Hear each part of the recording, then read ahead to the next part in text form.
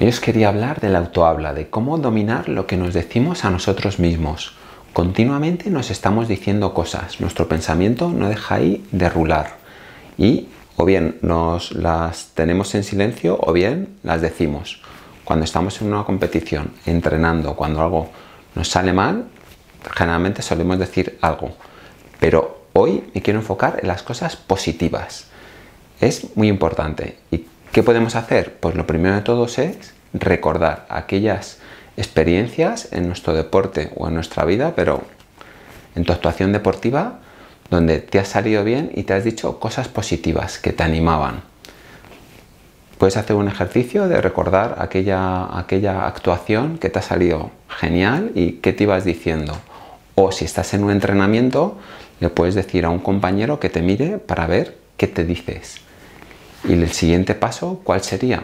Escribirlas. Escribirlas si puede ser en papel y boli, para que las veas bien, te acuerdes y así las vayas retroalimentándote. No se te olviden y las puedas usar en sucesivos entrenamientos y luego en la competición. Así que ya sabes, recuerda las que usas, que todos usamos algunas, escríbelas y luego la tercera fase es verbalízalas.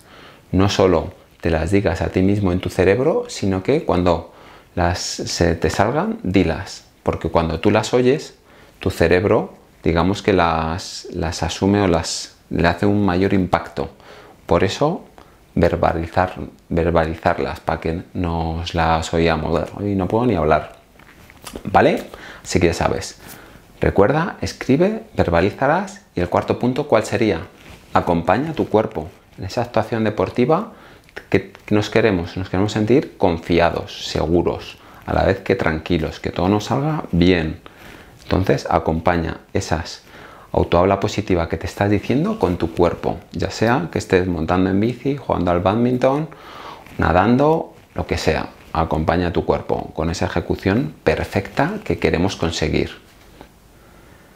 ¿En qué situaciones puedes usar el autohabla positiva? Pues la puedes usar en aquellas situaciones que ya te va bien, para reforzar precisamente ese comportamiento, ese esfuerzo que te está funcionando.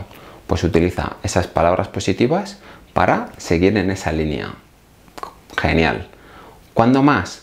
Pues todo lo contrario. Cuando estás más, pues mal, pues para subirte el ánimo, para darte ahí un push de energía, de motivación, de confianza.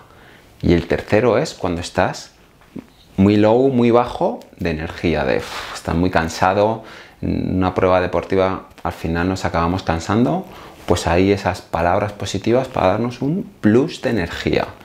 Esas tres situaciones son las ideales para usar este habla positiva. ¿Y cuáles son las claves? Pues sí, creértelo. Creértelo es la primera clave. Ya lo decía Henry Ford. Tanto si te crees que puedes como si crees que no puedes, estás en lo cierto. Hay muchos alumnos míos que me dicen, es que no me voy a decir algo que no me creo. Pues haces muy bien. No te digas nada que no te crees. Decirte cosas positivas que no te crees no funcionan. Además, hacen el efecto contrario, porque parece que te estás como autoengañando y es muy difícil engañarnos a nosotros mismos. Dite cosas que por lo menos sean neutras o positivas pero que te las creas. También es importante por tener esa mentalidad de crecimiento, ese aprendizaje, esa mentalidad de desarrollo que nos va a hacer prosperar, avanzar en nuestro deporte. Está muy relacionado las cosas positivas con esta mentalidad de aprendizaje. Así que tenlo muy en cuenta. Espero que te haya gustado este vídeo, que apliques todas las técnicas de autohabla positiva.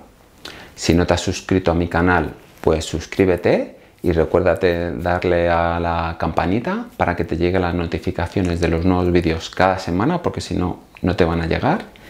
Y nos vemos en los siguientes vídeos.